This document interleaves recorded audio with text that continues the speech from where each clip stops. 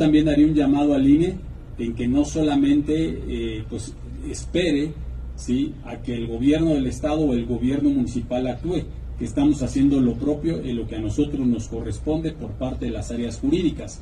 Al final de cuentas, ¿quién es la autoridad electoral? El INE. Y quien debería de contabilizar la pinta de barras, en su caso los gastos, requerir a los partidos políticos, en su caso a los aspirantes, es la autoridad electoral, no solamente el gobierno de la ciudad o el gobierno estatal. Por ejemplo, escuché que el INE decía que le pedía al, gobierno municipal, al gobierno municipal de Puebla, que le pida a todos los gobiernos municipales del estado que se vaya a dar una vuelta a todas las barras que se pintaron en el interior del estado.